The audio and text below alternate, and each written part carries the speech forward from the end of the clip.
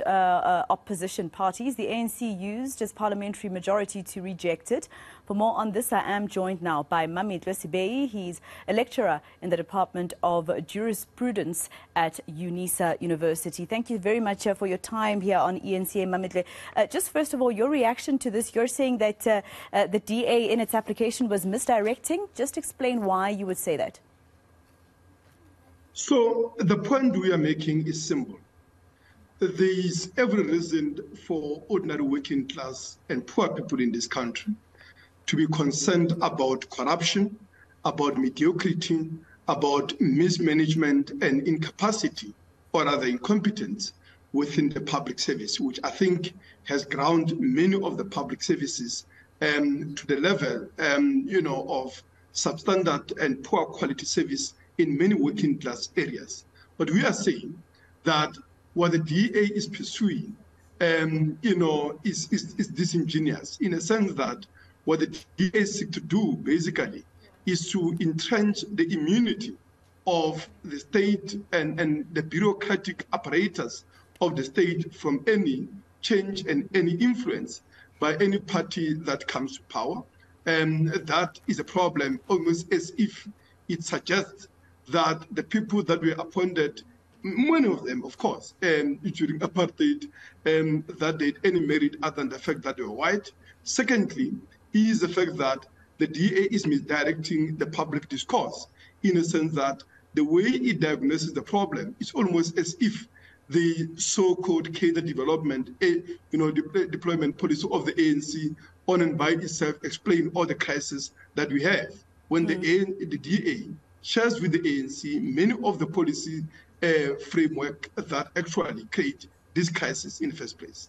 Mm. But would you agree that, uh, you know, the policy of cadre deployment uh, um, at the moment, it's not being implemented correctly? Because here and there we'd find that in state utilities, for instance, there are those who are not meant to be at those utilities uh, actually heading uh, some of our parastatals, for instance. So would you say that the ANC is actually implementing their own policy correctly?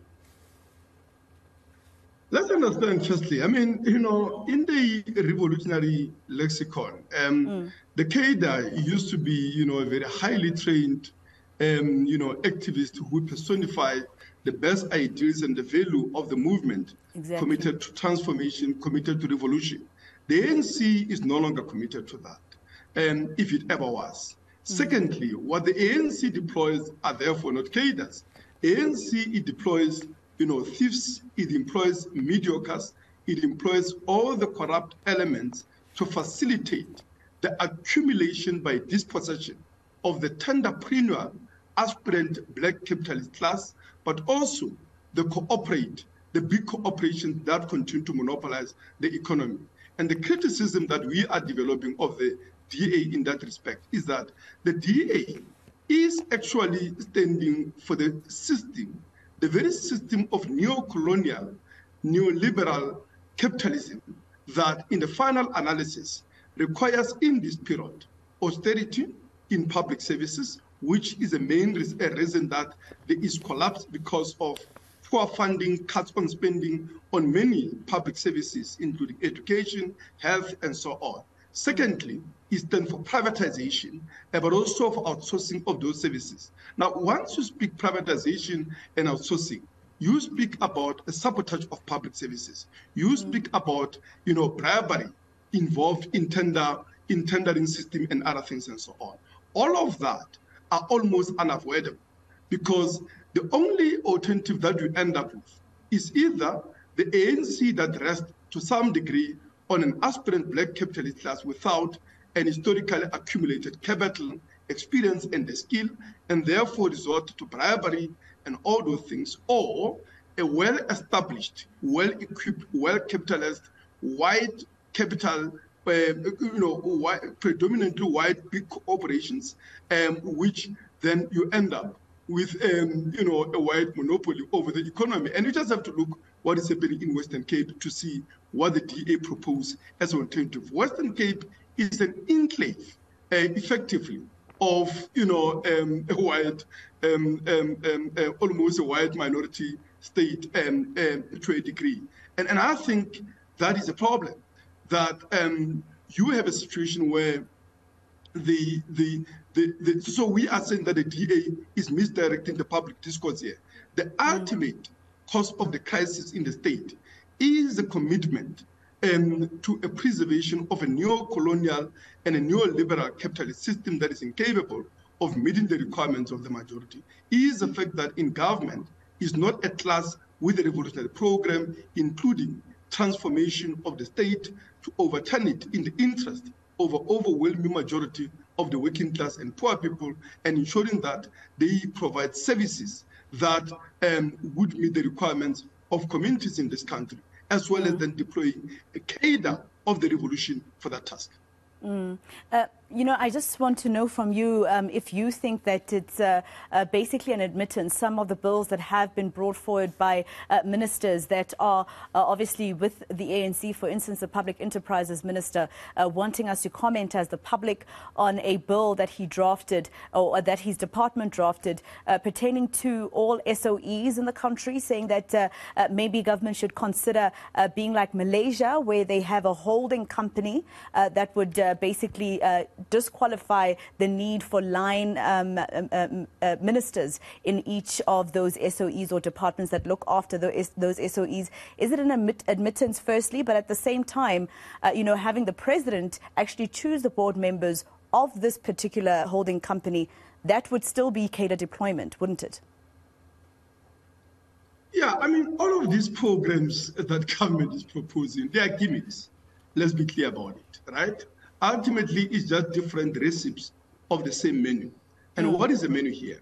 You have the state that basically is committed to a creation of a class without capital, right? How is that class going to accumulate? Other than through the plunder and the loot of the state, which is the real reason behind the privatizations, behind the outsourcing, that they are basically handing over public assets public services to people that are without capital, are without the requisite experience, are without, um, of course, the skills and all the things that people are bemoaning. And I'm saying the deployment of the mediocrity, of the thieves, of the corruption, and mm. of all the incompetence flow from that. And from that perspective, DA represents not an alternative because DA is committed in a final analysis to the preservation of the same system. So basically, the only way that you are ultimately going to be able to address the problem in the public service insofar as governance and management is concerned. I, for one, am on record, but also our movement is on record as saying you need a democratic control and management of the public, you know, um, services and so on. And if you look what actually is currently happening, um, let's say at universities where I'm located, because people think you are taking, you know, we are taking something out of this world. When we are looking at, you know, universities where we are located, by the way, um, you know, councils are made up of representatives of workers, of students, of communities, of elected officials and so on, uh, you know, public officials, right?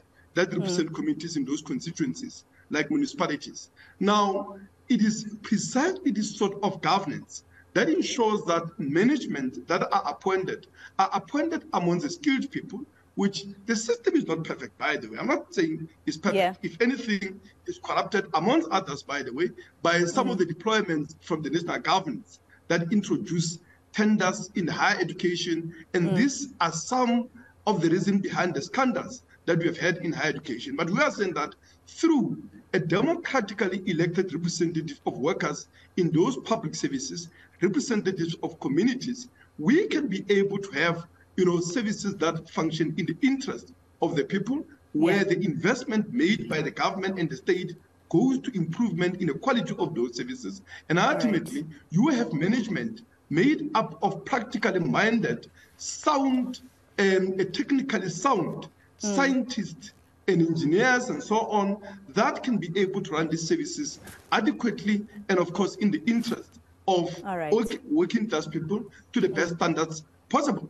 Mm, all right, Mametlwe, thank you very much uh, for your time here on ENCA. Mametlwe Sebei basically uh, saying that in its form, when it became a policy, there was nothing wrong with cadre deployment until it became about doing favors for each other and, of course, uh, probably also uh, pocketing some money from the public purse. That's when it started becoming a problem.